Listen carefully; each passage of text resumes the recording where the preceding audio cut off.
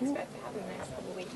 Because, you know, as tomorrow night, everything changes. Um, you know, right now I'm just really focusing on what's going on right now, just what's in front of me right now. So, uh, like I said, I'm just enjoying this process. You know, being here uh, and being prepared and just getting ready and, and enjoying, you know, all this, you know, and, you know, interviews and you know, being able to be here and you know, just blessed. So I'm just enjoying this process right now. So. How much have you heard throughout the past couple months about about your demeanor? You know, everybody knows you're a nice guy. And a lot of people maybe even saying you're too nice. Mm-hmm. You've heard a lot about that, and are you getting tired of hearing that?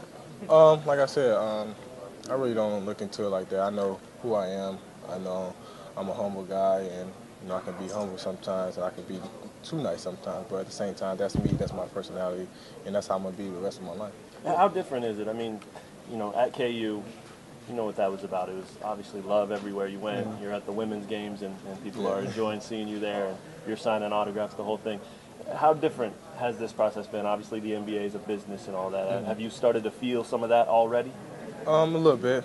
Like you said, it's, it's, it's a business, and you know when I was at KU, uh, I, I tre- uh, treated that like a business too. Like that was my job, and you know I went out there each and every day to play my hardest and play my game, the game I love, and that was basketball. And you know, I just had fun out there, and you know now you know I'm going to the next level. You know it, it's going to be different. You know, so uh, I'm ready and I'm prepared. I talked to Tyshawn at camp, and he said maybe you need to get a little nastier. That probably wouldn't hurt you. He's obviously spent a year in the league. Yeah.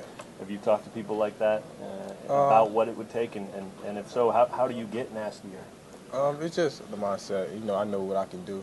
I know I can, you know, take over games. I know I can have that, you know, that dog in me, and I know what I need to do. So, you know, like I said, I'm ready and I'm prepared. If you end up with the Magic, what, what can Magic fans expect from you uh, on and off the basketball court? Um, I mean, like I said, at this point, I don't know where I'm gonna be heading to, but you know, like I said, I'm, wherever I go, end up at, you know, hopefully I, I'm, gonna- I'm gonna come in and bring, um, you know, a lot to the table. You know, come in with a, a winning uh, mentality and just going out there and just help my team win games and helping the organization and, you know, just hopefully down the line and just win a uh, championship too. So, you know, I just want to help and build the team and get myself better and get my teammates better too. What was it like talking to Jacques, a, former Kansas guy? Uh, it was great. I mean, we caught up. You, you know, that's my first, second time seeing him. You know, at the draft combine and there. So it was just great uh, talking to him and getting to know him and you know, learning you know little things about him and about me too. So uh, it, it was a great experience just meeting him and you know getting to know him. Then outside, outside of the draft, who I'm sure you watched Game Seven. Yeah. Who who are you rooting for in that game, given Uh, such a intense series? I was rooting for Miami Heat. You know, uh, a lot of my friends know I'm a LeBron fan and, you know, like that. And, you know, I was rooting for them. You know, I, I was calling a lot of plays that before it happened. And, you know, I called the um, miracle shot when Mario Chalmers hit that um, shot before the fourth quarter. I called that shot. And, you know, I was definitely rooting for them, you know. And like, I told everybody that they was going to pull it off. So, and they did. That's. It's all right, man.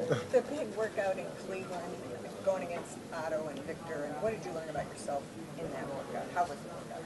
It was a great workout. I'm glad I came. I went there and worked out with those guys, and you know, with Victor and uh, Otto Porter, and you know, it just showed me that you know I'm very competitive, and, and it, it just showed me that I know I have this dog into a dog in me that I can work and I can compete. So that's all I did. I went down there, and, you know, had a great workout, competed, you know, and had fun at the same time. That's the whole thing. You're having fun and you're competing, and you know, it makes the game a lot easier.